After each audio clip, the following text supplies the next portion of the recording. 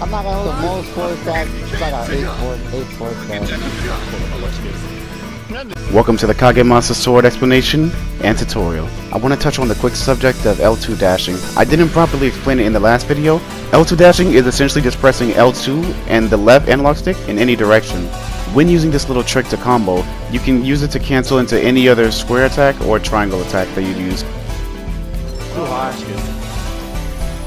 While in the air and pressing triangle, that's the two-part animation where you press once to kick down, and you press it again for the lunge.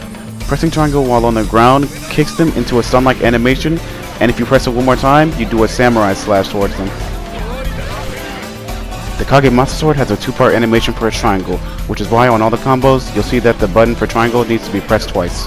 You could press triangle only once to cancel the second part of the animation, but I wouldn't recommend it because it's too slow, and you won't be able to combo after it most likely.